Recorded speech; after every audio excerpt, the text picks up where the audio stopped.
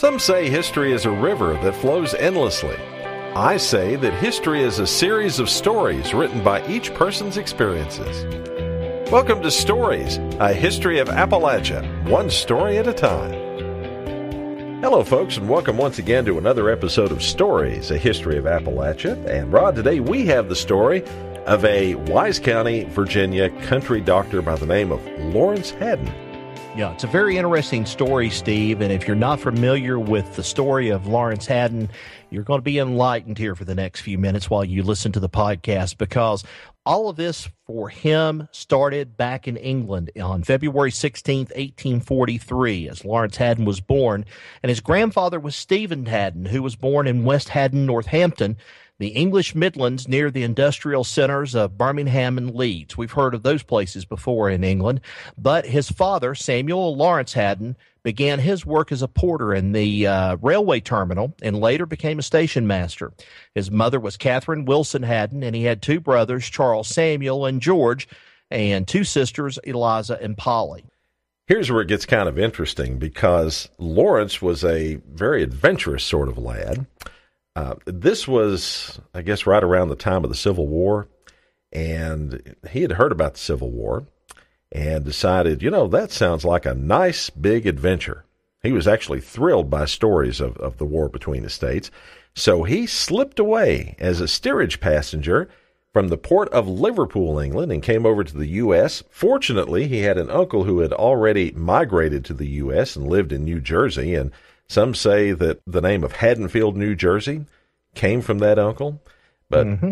regardless, Dr. Haddon did end up joining the uh, Union armies under a, a, very interesting sort of process. Seems that during the Civil War, if you were a uh, person living up in the United States as opposed to the Confederacy, and you had enough money, when the draft came around, you didn't have to serve. Mm-hmm. You got to pay money to other people less fortunate and not as rich as you to go serve in your place. And Lawrence took somebody up on that, got paid some money, and ended up going to war on behalf of the uh, Vermont Regiment, if I'm not mistaken, uh, mm-hmm. in Virginia fighting General Robert E. Lee. Well, he was in the Vermont Regiment, as you said, but you know, after a period of his training, his outfit was then sent south to become a part of General Grant's army. Now, in a siege in Petersburg, Virginia in 1864, Lawrence Haddon ended up being wounded by Confederate shrapnel, and he was captured and sent to the notorious Libby prison near Richmond. Now, if you're not familiar with the Libby prison, it was probably one of the worst Union Army yeah. prison camps that was, you know, of the war. There's so many of them, but still, uh, Libby Prison was one of those that had open windows and where the elements, they were exposed to the elements almost all the time, whether it be sun, rain, snow, whatever the case may be. But he was able to go and convince his rebel captors, no doubt by his English accent, that he would rather fight with them than face disease and starvation in prison. So he joined a Southern regiment at the time, recruited mainly from Southwest Virginia, and they began fighting with General Lee's army. So as they lay in the trenches, cold, hungry, in the winter of 1864 and 65, knowing that the Confederacy was going to end up as being a lost cause, Lawrence's young mountaineer comrades, either through nostalgia, just mockery, whatever the case may be, they regaled the young Englishman of a city where fame and fortune awaited him. now, if he'd only braved the perils of the 300 mile trek, now you head on down there 300 miles and you'll get to the place that's called Gladeville. And we know that today as Wise, Virginia. Well, of course, the early spring, Grant routed Lee's army from its fortifications at Petersburg and then forced them westward, finally to Appomattox, where on April 9th, 1865, Lee surrendered to Grant. Now, each rebel soldier received a pardon and was permitted to keep his horse and go home. Now, Lawrence didn't really have a home at this point. He just followed the other soldiers back down to that major metropolis of Gladeville slash Wise. Uh, he got out, no mustering out pay, no pension, no nothing, just a noble farewell from General Lee. We're not sure if he headed west on horseback alone through the wilderness or whether he came with someone else, but in any event, he did end up in Wise County in the company of a young soldier whose last name was Dean. and it, it's believed that Dean wandered into Southwest Virginia with him. Uh, after journeying for many days through the backwoods, he did arrive in a hamlet of log huts, and uh, I guess, Rod, he believed this whole story about this magical city in the mountains because he asked a local uh, where Gladeville was, and the response was what? You're right in the middle of it, son.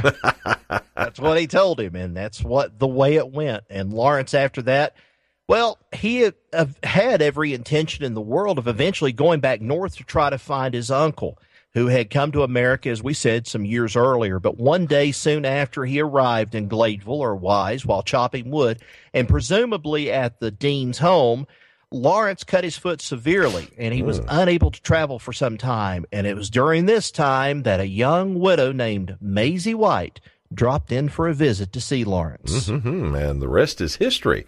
Well, actually, the family's history.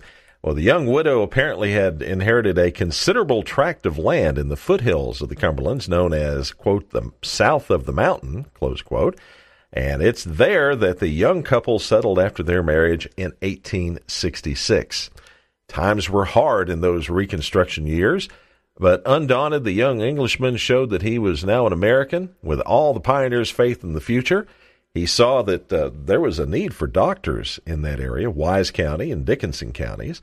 The area was remote, of course, from doctors' care, and the only practitioners were so called herb doctors midwives and granny women, as they call them. You know what a mm-hmm. granny woman is, don't you, Rod? Yes, I do. I know exactly. Well, the most notorious in the northern areas of the county, as far as herb doctors, was somebody we talked about a couple of months ago by uh, the name of Doc Taylor.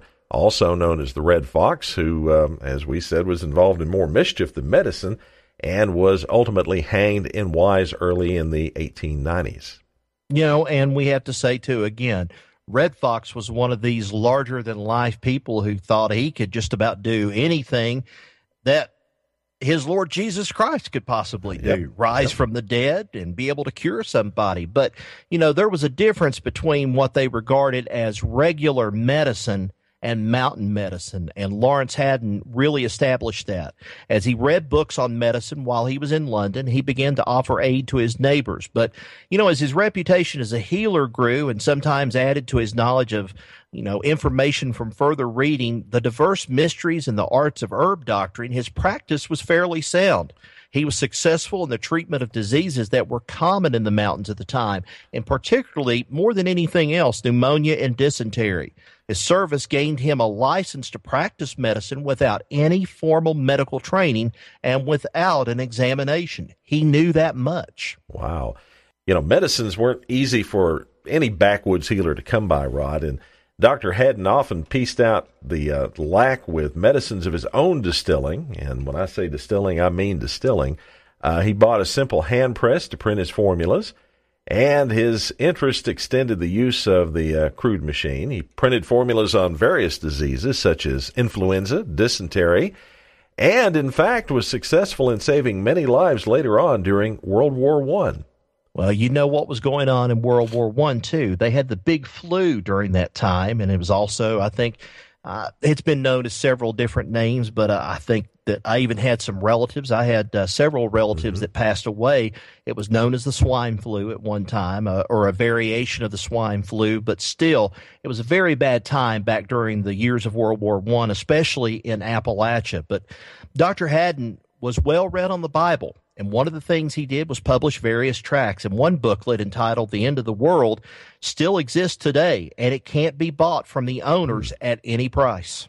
Wow. They still have that book. At the same time, uh, Doc Haddon, as he was referred to, and his wife Maisie, she died in 1911. They had three sons Charles Samuel, he died in infancy, John Morgan, who was a brilliant young man who was graduated from Milligan College and was teaching school, studying law when he died from tuberculosis at the age of 29 in 1895. And then there was George Powell, who married Caldona Branham. There were two daughters, Mary Bell, who married Mac Whitaker, and Lydia Ann, who married Noah Sowards. The sad thing about it, Steve, Dr. Haddon later in life admitted that there was no male heir to carry on the Haddon name in Southwest Virginia. You know, and Steve, not only was he a doctor, but at the same time, he qualified for a justice of the peace in the Robertson Magisterial District. He was also a postmaster until he was 91 years old. He corresponded with his brothers and sisters back in England and wherever for over 50 years. And then there were letters sent back to England by relatives over there, which were written by Dr. Haddon in 1875, 1888, and 1926. But he died on August 7th, 1936, at the age of 94 years old. Died of no specific disease, but he was a gentle and also, you know, loving man, caring man as to what he did but he quietly slipped away among the shadows to be forever remembered by his descendants in the community in which he served. And, you know, there's a part now in south of the mountain known as Haddonfield, and that's what is known by Doc Lawrence Haddon. And that's another story in the history of Appalachia, one of many that we tell you right here on Stories, a History of Appalachia. We appreciate you listening to the podcast, and if you'd like to subscribe to it, you can do so by going to iTunes or to your iPhone podcast app. You can also subscribe to the podcast on your favorite Android or Windows phone podcast app. We're also on Facebook. Come by and like us. We've got other stories to tell on our Facebook page. And we're on Twitter as well at Story Appalachia. And don't forget that we also have an online radio station called Stories Radio. You can go to the uh, TuneIn app and search for Stories Radio. Be sure to list us as one of your favorites and you can hear this and other stories from the uh, podcast, as well as things that we don't put on the podcast, right there on Stories Radio. So, y'all take care. Till next time, so long, everybody.